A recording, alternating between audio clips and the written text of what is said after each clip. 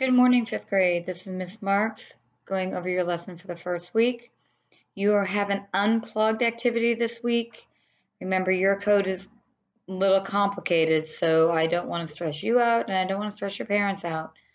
So it was great timing because this one is an unplugged activity. So this one's called The Power of Words. Um, students will be able to em empathize with those who have received mean and hurtful messages judge what is mean to cross the line from harmless to harmful communications online, and generate solutions for dealing with cyberbullying. Um, cyberbullying is the use of technology tools to deliberately upset someone else. So here's a short video.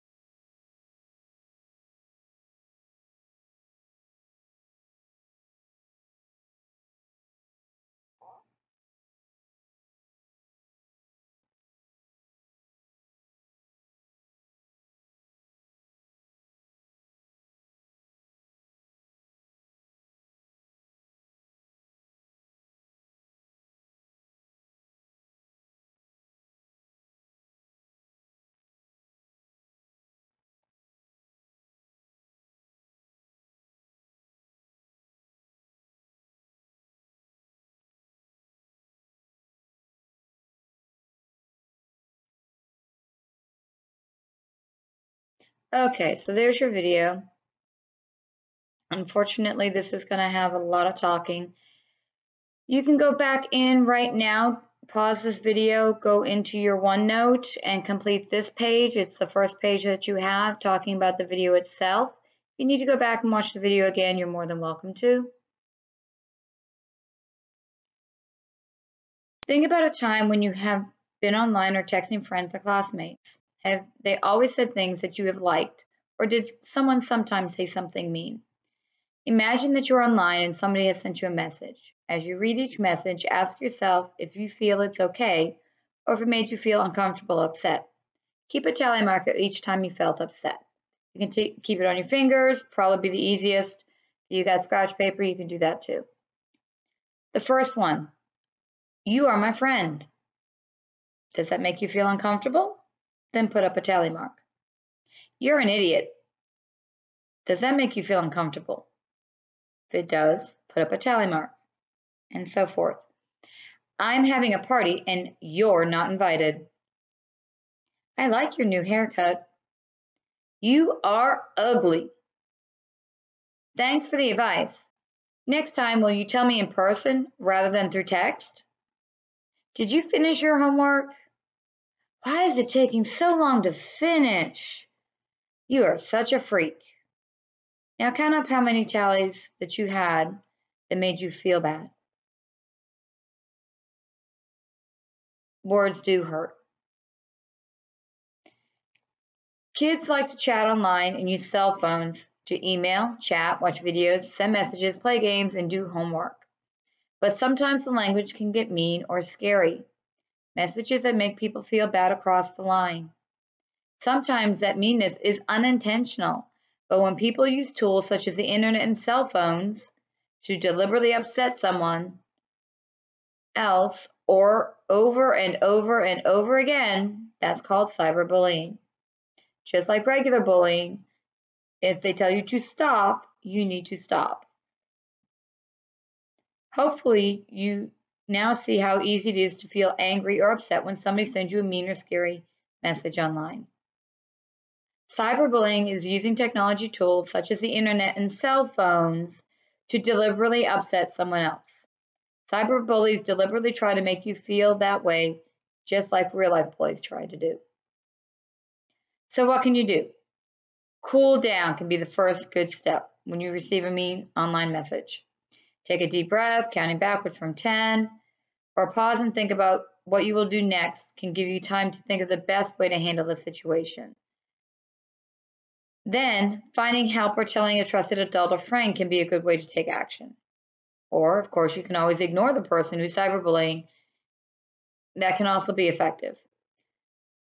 Those who bully often like the attention. And that's why they bully. They want the attention and they don't know how to do it any other way. So they bully. Whatever you do, remember to keep a copy of your communications with the individual who is cyberbullying you. If you delete the communication, there's no proof of how the bully treated you if you need to go to an adult. If you get bullied at school, you know you have other people that have seen it, you have other people that have heard it, there are video cameras, you have documentation that you've been bullied at school. However, if you're being bullied online, if you don't save it, you know the bully's not saving it, and the bully's not going to show, oh, yes, I, I did this, I did this. They're not going to do that. So you have to save the proof.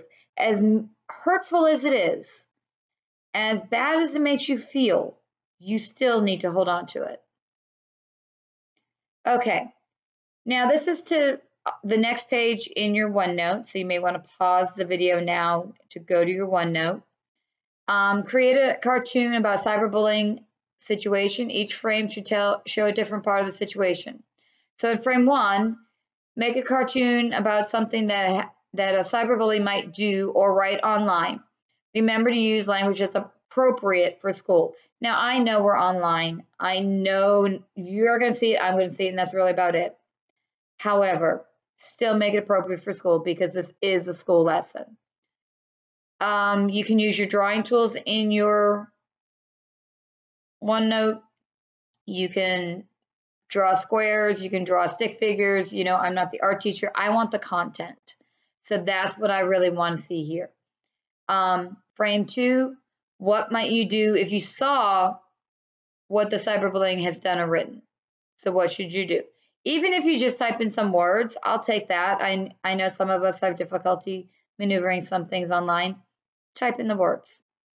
Number three, um, what might be a positive outcome or result of the information, the situation? How can we turn this around to make this a positive? And then after that, you have a quiz. Okay, so there's one question. Number two, last year, I'm going to tell you the fifth graders did not read the directions. What you need to do is, if it's something you should do, you put the letter A. Let's say letter A is something that you should do. So put letter A here.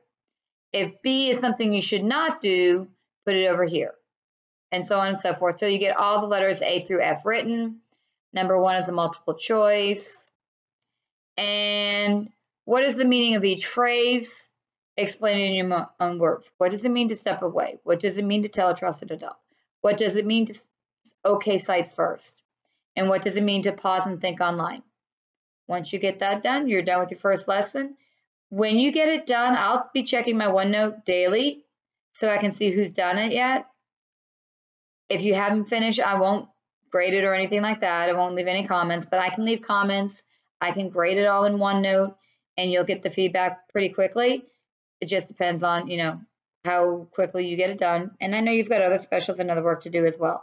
So if it takes you two days to do this lesson, then it takes two days to do this lesson. Depends on how much screen time you have and what's going on. If you have questions, if you have difficulty getting to things, um, all the special area teachers sent our phone numbers in our welcome letters and in office hours. Ask a parent, call me, let me walk you through it. Let me figure out where you are. Remember, I can always see what you're doing because I can go into your OneNote. I can go into your um, code.org. And this is a code.org lesson. Okay. Um, I can go into the different places and find out where you are, what you've done, where you're going. So let me see it. If you need help, let me know and I will help you. Okay, let's see how week one goes. Talk to you later.